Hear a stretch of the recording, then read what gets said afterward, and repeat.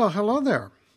In this uh, series of uh, tutorials, what I'm going to do is take this tutorial of Brandon's and I'm going to take it from Photoshop to interactive components in Catalyst. You know, when Brandon did this, I took one look at it and said, whoa, hold on, I can make the static image uh, that Brandon is making available to you, I can make this interactive so we can have a whole bunch of interactive pieces in here. So I got hold of Brandon and said, What do you think? And he said, Have at it. So that's exactly what I'm doing. I'm having at it. Now, the first step in the process, of course, was to download the PSD, which I did. And I took one look at it and realized I got a bit of a problem. Uh, the problem is right here drop down menu and the uh, progress bar. Uh, Catalyst doesn't do the, these two, so they had to go. The uh, other than that, everything else was workable. The next step in the process for me was to just go through the various layers and see how the image was constructed or the various uh, components were constructed and really take a look at how the layering was done and uh, the effects that were used and so on because I want to get this over to Catalyst and Catalyst does uh, some interesting work with this stuff but what you need to do is be aware that you don't necessarily need to go as crazy as Brandon has here. You still need the bits and pieces. I don't deny that. And I don't deny that you need to do the design. But once you get it done, then you can start simplifying it a little bit for Catalyst. Now, let me explain what I did here. I made a copy of this file. And this is the file I created from Brandon's file.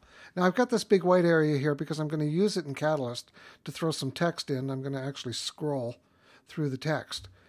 Now you'll notice I've kept the uh, input field, uh, the buttons, uh, the checkbox and the radio button. This is the uh, D-pad and there's that uh, button. And you'll notice there's some stuff missing here. There's the unchecked and checked state. There's the unradioed and radioed state, selected and unselected. Uh, there's the up and down state of this. I'm missing a state there. I'm missing one of the input fields. Actually, I'm not. If you uh, take a look at the, uh, uh, we'll, do, we'll do with the down button first. This one here, download this button. You'll notice that I've turned off the hover. And the hover is directly under this. So if I turn off the normal and turn on the hover, you see, there it is. So I haven't lost it. I just turned it off and put it underneath. The reason being that I can use this in Catalyst in exactly this form.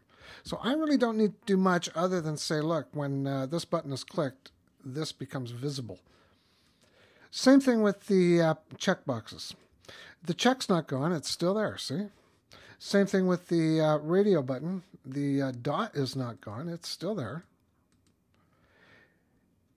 And the D-pad was a little bit uh, different. And what I did was I renamed the layers and I named them top, bottom, left, and right. And the plan is, is if the user rolls over, say this top here, this top arrow, these arrows here, the three below, are actually going to be reduced opacity. I'm going to take them down to about 45% opacity.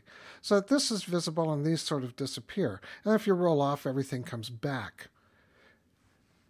The uh, input field, same thing. If uh, I come to the text field here, you can see that I've just turned off the, uh, the focus. So this is all nicely prepared and ready to go for Catalyst, and let's get it into Catalyst. And when you flame up Catalyst, what you want to do is just create a new project from a design file. And you're going to select Adobe Photoshop PSD. You select it, you can navigate to the folder or file that you're going to be using, which is this one here for me.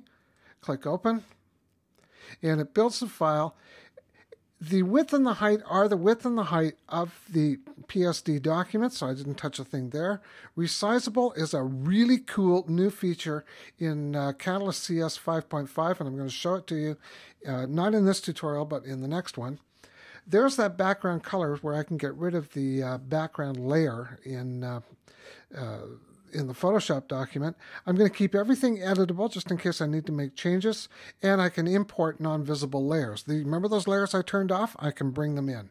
So I click OK, and what Catalyst does is it just compiles everything, builds the file for me, puts everything where it belongs, and you can see there it is there. There are the folders. There's everything that uh, came in. and was named up properly inside of uh, Photoshop. And there's that background layer, and all I have to do to get rid of the background layer is click that. You click the trash can, background layer is gone, and I've got the the artboard. This is called the artboard. The background color for the artboard is now white. Now, one other thing, if if you do make a mistake, not all is lost. You know, you're looking at this and you go, oh, wrong, wrong color or something like that. You can actually right click or just select a component here, one of these, right click on it, and you see that you can actually go edit in Photoshop.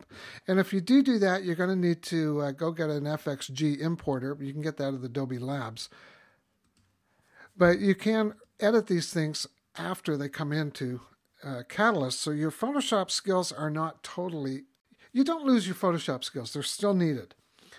So there you go. There's how we uh, took that uh, idea, brought it into uh, Catalyst, and in the uh, next exercise, what I'm going to do is I'm going to wire up these two buttons and this button. I'll see you there.